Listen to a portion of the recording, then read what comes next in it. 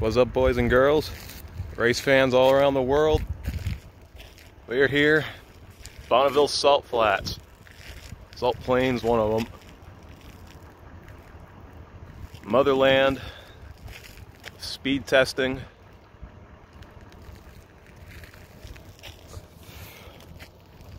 Fucking gorgeous out here, man.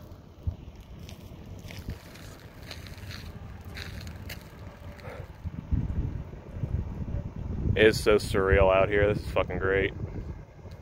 Just the thing that I'm actually standing on like, like the world's where the world's fastest Indian came from. Speed tests, like what, 800 mile an hour cars and shit.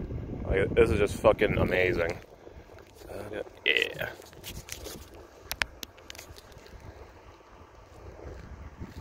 Fucking unbelievable. Got the crew out here.